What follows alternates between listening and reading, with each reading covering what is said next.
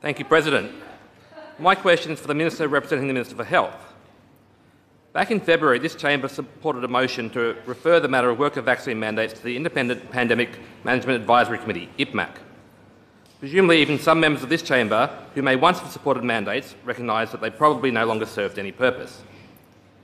Unfortunately, it seems that IPMAC moves at the pace of a ceramic turtle and have given no outward appearance of doing anything at all. Meanwhile, my office still receives regular stories of people who are on the verge of bankruptcy and despair as they are still denied employment, losing their homes. After the absolutely confusing press conference on the 20th of April, some people understandably thought that the work mandates had been lifted and quickly rushed out to secure employment, only to have their hopes crushed once again. Others have fled the state, and at this point I have to wonder if that's the true aim. Minister, when are these work mandates going to end? Thank you, President.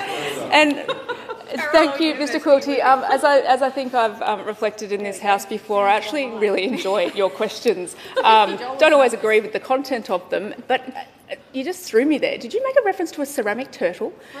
All right. Um, I'm going to pass this one on to the Minister for Health for a, uh, for a detailed response. Not the Minister for ceramic turtle. Mr. Quilty on a supplementary. Uh, thank you, Minister.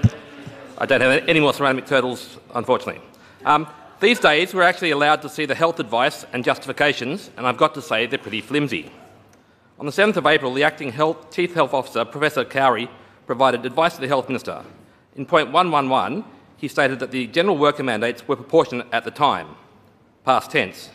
In point 116, he states that it will be proportionate to shift away from orders mandating, mandating vaccines. Subsequent advice from the Chief Health Officer added nothing further to the matter. Clearly, the advice to the Minister was that it was at his discretion to consider lifting the mandates. We've had similar advice from public health experts. Ordinary Victorians are suffering for no good purpose.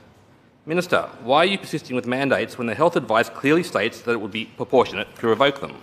Symes. Um, thank you, President. And um, I am um, advised by, by, colleagues that similar topics that you've raised is being considered by um, the parliamentary committee that was established in relation to the pandemic laws that passed this chamber last year. Um, but in any event, I think it's an evolving matter, but uh, we'll see what response we can get from the Minister for Health in relation to the questions that you've raised.